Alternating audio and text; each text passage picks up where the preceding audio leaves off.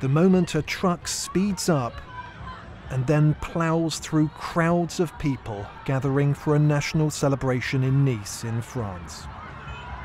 The vehicle travelled for more than a mile along the waterfront promenade, knocking people over before stopping. Here, police can be seen firing into the cab of the truck. At least 84 people were killed, with many more injured. Security officials said that the truck driver, who was shot dead, was a 31 year old of Tunisian descent. The man isn't known to have had any connection to terrorist groups.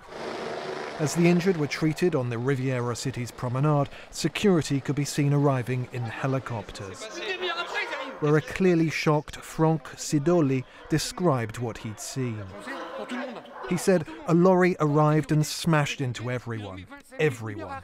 There was no security, and it took firemen 25 minutes or half an hour to arrive. Footage quickly began to surface on social media channels of crowds running for their lives. Speaking on Thursday night, the French president, Francois Hollande, blamed Islamic terrorism. He called the incident a deliberate killing and extended France's state of emergency for three months.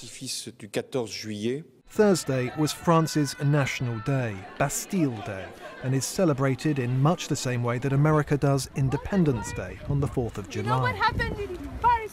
It commemorates the storming of the Bastille in 1789, an important event in the French Revolution. Arriving for the Asia Europe meeting in Mongolia on Friday, world leaders condemned the attack in Nice. Donald Tusk, president of the European Council, said it was a sad day for France and for Europe, especially on Bastille Day. It's a tragic paradox that the subject of, of the attack were people celebrating liberty, equality, and, and fraternity.